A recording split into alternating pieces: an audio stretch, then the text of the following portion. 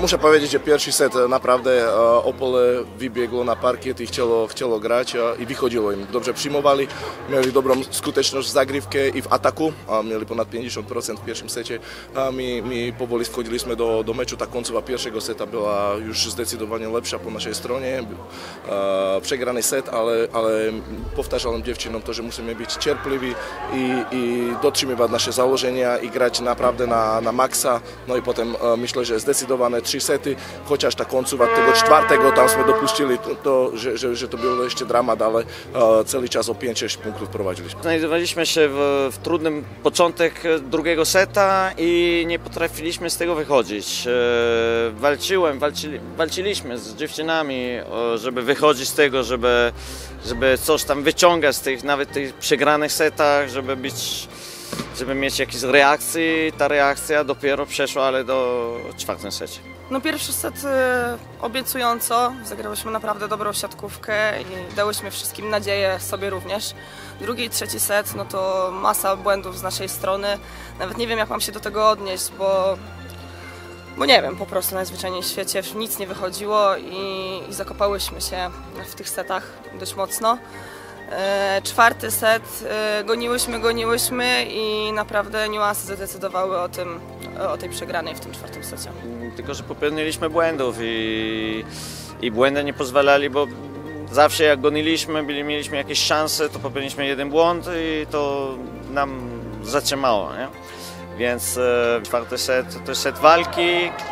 Bardzo dobrze, że walka, no niestety nie, nie, nie wystarczyło do wygrania setu. Nam się to zdarza bardzo często, to, że, że sporo prowadzimy i dopuszczamy tego, że, że utkniemy w jednym ustawieniu a, i po prostu nie możemy zrobić e, spokojnego przejścia i, i, i przeciwnik nas podbija i kończy piłki w kontrataku.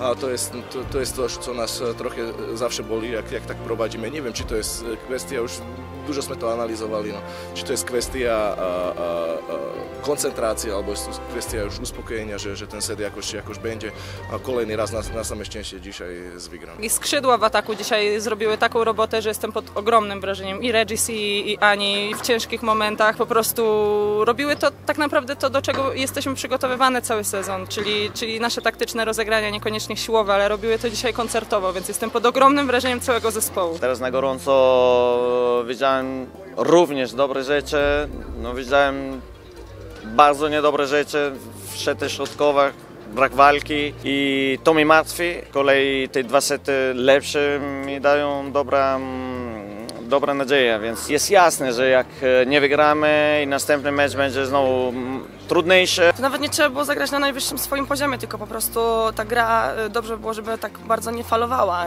Jakiś, y, jakiś poziom cały czas y, trzymać wystarczyło, żeby doprowadzać te sety do, do zwycięstw, a nasza gra za mocno falowała i dlatego jest taki wynik. Że chciałyśmy już polecieć na tej fali, a fala opadła i, i trzeba było troszeczkę więcej dać z siebie i, no i troszeczkę w, liczyć w końcówce na szczęście i, i na szczęście, na szczęście szczęście było dzisiaj po naszej stronie. Niestety jednak y, no, trochę niepokoi y, ta, ta słabsza dyspozycja, bo to nie są sety przegrane do 20 czy do 22, tylko do 14 i do 16 bodajże, więc y, no, musimy znaleźć, odnaleźć tą, y, tą równiejszą grę. Mam ogromny sentyment. Dla, dla mnie i ta hala jest najpiękniejsza na świecie i, i, i trener i, i, i dziewczyny te, które zostały tutaj i ja jeszcze z nimi grałam parę lat temu.